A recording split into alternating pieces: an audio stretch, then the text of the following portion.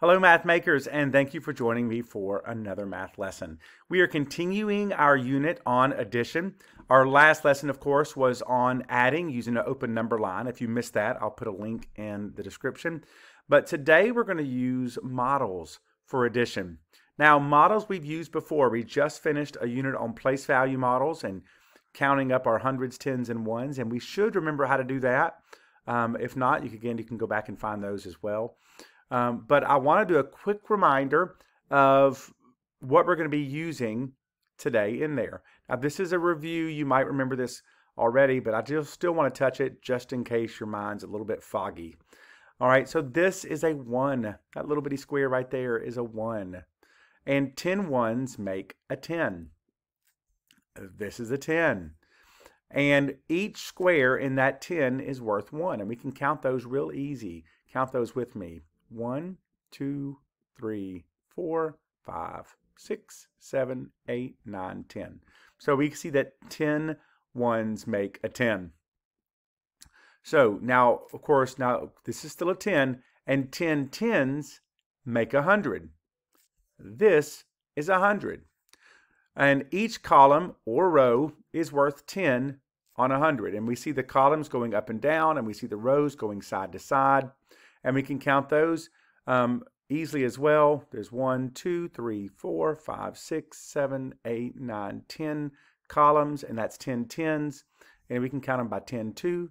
Count with me 10, 20, 30, 40, 50, 70, 80. I'm sure I just heard you count those. And um, so you can see that 10 tens make 100. So as a reminder, that's a 1. This is a 10, and this is a 100. Now, some addition terms I want us to make sure we remember is when we're adding and we have an equation, the addition problem is called an equation. The two numbers you're adding, those are called addends. And the answer to an addition question is called a sum. Sometimes you might hear it called a total or even sum total, but usually we call it a sum. These numbers that we're adding are each made up of digits. And digits are the numerals that make up a number. So for instance, 75 here is a two-digit number because you see two digits. There's also three different ways we can write a number. We have the standard form, which most of you are pretty good at, 234. We have the word form, 234. Don't forget your hyphen in between the, the tens and the ones. And then we have expanded form or expanded notation, and we can break that 234 into 200 plus 30 plus 4. You actually really need to know that for what we're doing today, just like you really needed to know that for adding on an open number line. So with all that said, let's get started. We're going to practice maybe three or four questions, and then that will be the end, but I just want to make sure I'll walk you through how to do these. All right? We'll start with an easier one first, 321 plus 146. So step one, we're going to build the first addend.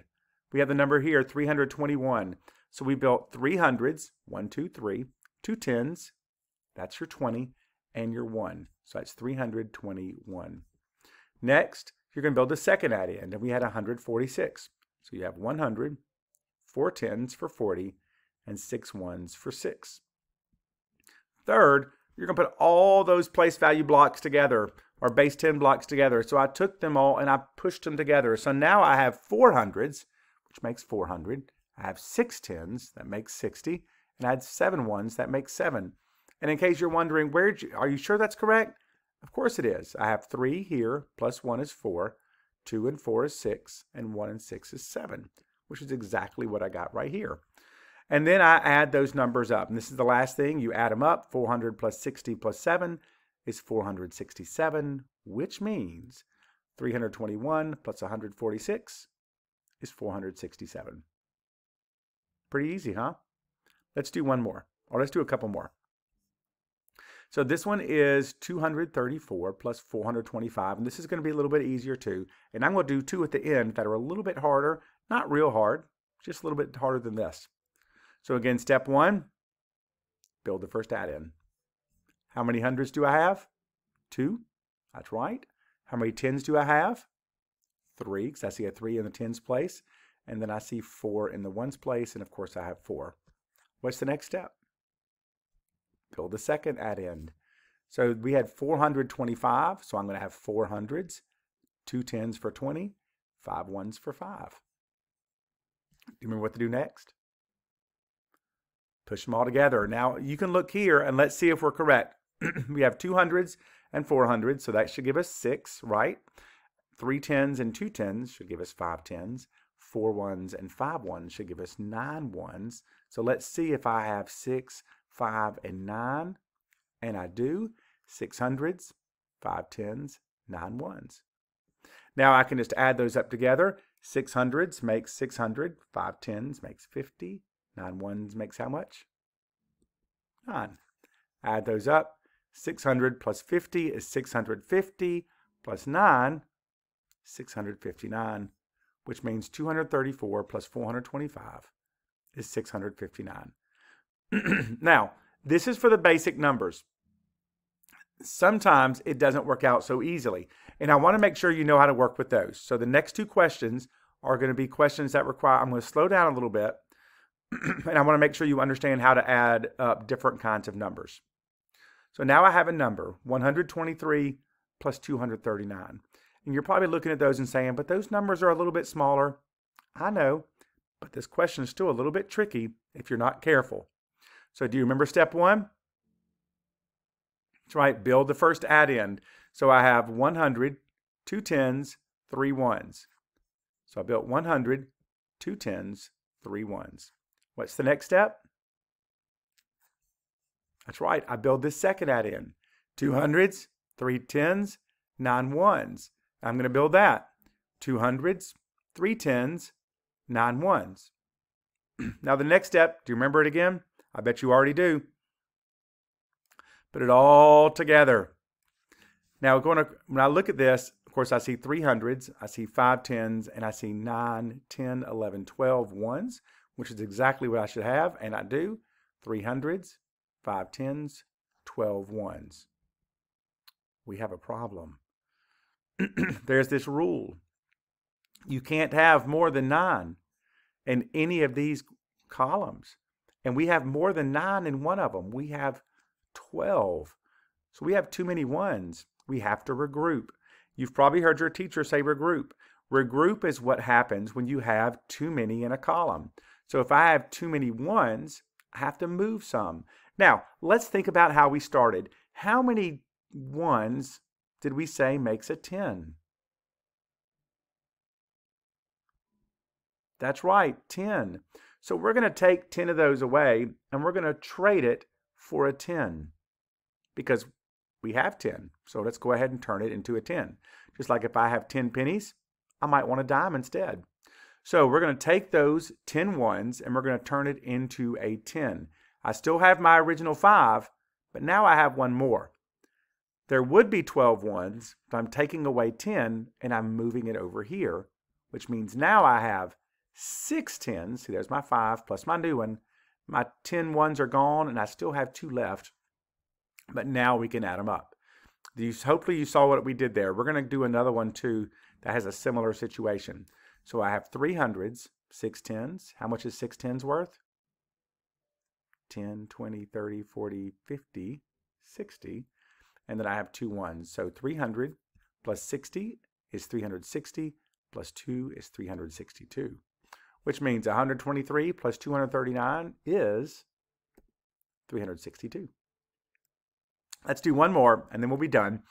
Um, this one is going to be a little bit tricky, just like the other ones. See if you can find the problem, because there's going to be one. So let's look at it first. We're going to add 264 plus 352. All right, what's step one again? Build the first number. So I have 264, that's two hundreds, six tens, four ones, and I'm going to build that. Oop, I didn't put enough hundreds there. Let me build another one. I can't believe I forgot that. So now I have two hundreds, six tens, four ones, and then I'm going to build the second number. 352. That's three hundreds. Five is for five tens. Two is for two ones. Now that we've built it, we're going to put them all together. Now let's look and see what we should have. we should have five hundreds, 11 tens, because 6 and 5 is 11, and 6 ones. And if you're not sure if that's 11, just count them. 1, 2, 3, 4, 5, 6, 7, 8, 9, 10, 11. So you can always count them if you're not sure if your math is correct. Third, we're going to put them all together. Five hundreds, 11 tens, 6 ones. We have a problem. Do you see the problem? What is the problem? We have too many tens. Remember our rule? We can't have more than nine. Once you have 10, you have to move them over, whether it's 10 ones to a 10, 10 tens to a 100, or for even bigger numbers, you could do 10 hundreds to a 1,000, which we haven't gotten to yet. So regardless, we have too many tens, we have to regroup. Now remember how many tens make a 100? 10, that's right. So we're going to take these 10, 1, 2, 3, 4, 5, 6, 7, 8, 9, 10. We're going to regroup. We're going to turn these 10 into a 100. So I slid my little extra 100 down here. And of course, in my next slide, you're going to see those 10s go away because I've moved them over here. So now instead of 500s, I have 600s. Instead of 11 tens, I have one because I moved it over here. I still have my six ones. That didn't change. I didn't have to change that. So now that I've done that, I can count it up. 600s makes how much? 600, that's right. 110, of course, is 10. And 6 ones is how much? 6. Do you know what the answer is? See if you can figure it out before I click to the next slide. 600 plus 10 plus 6 600 plus 10 is 610 plus 6 is 616, which means our answer to 264 plus 352 is 616. Guys, you did great. Um, I hope that this helps you kind of understand how we do that, especially the regrouping part. I don't want anybody to mess up on that, and that's why we did two problems with regrouping. Guys, you're working hard, you're getting better, you're making math easier just by showing up. Thank you so much. And until next time, have a wonderful, wonderful day.